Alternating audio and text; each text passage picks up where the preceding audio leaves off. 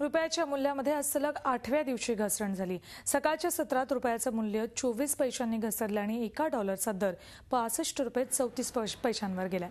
आंतरराष्ट्रीय बाजारात डॉलरला असलेली मागणी आणि गेल्या आठवड्यात चीननं युआनचं मूल्य घटवल्याचा दबाव रुपयावर आहे. देशात आयातदार आणि बँकांची मागणीही वाढत असल्यामुळे रुपयाची घसरण झाली दुसरीकडे शेअर बाजारात आजही सकाळ पॉझिटिव्ह झाल्यामुळे काहीसा दिलासा मिळाला. सकाळच्या वेळेत सेन्सेक्समध्ये साडेतीनशे अंशांची उसळी पाहायला मिळाली. Vedanta Sun Pharma Bajaj auto Reliance H D F C ही शेअर्स ग्रीन झोनमध्ये ट्रेड करतायत.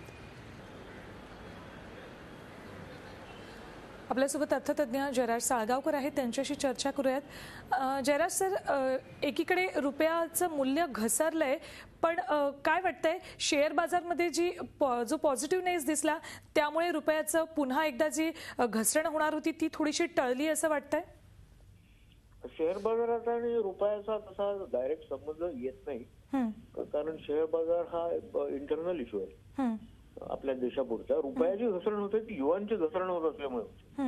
काल युवान जोरादार त्यांनी डिव्हॅल्युएशन केलं त्याचं. त्यामुळे झालंय विकनेस सिंगापूर डॉलरमध्ये आलाय कोरियन वॉनमध्ये आलाय मलेशियन रिगेटमध्ये आलाय. जवळजवळ एक टक्क्याने पडलेत. आणि रुपया त्या मानाने कमी पडलाय अर्धा टक्क्यानेच पडलाय.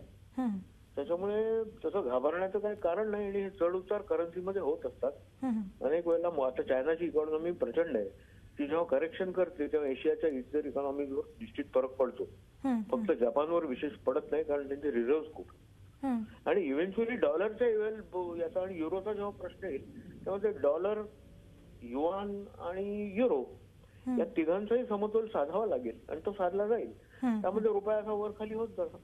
हं, हं, हं. बाकी काय युद्ध नाहीये तसं काय सैम- दुष्काळ नाहीये त्यामुळे तसं काही एकदम घाबरून जाण्याचं याच्यात काही कारण नाही हं. करेक्शन म्हणतात आणि ते होईल हं, हं. सर धन्यवाद आमच्याशी बोललात त्याबद्दल झी चोवीस तास रहा एक पाऊल पुढे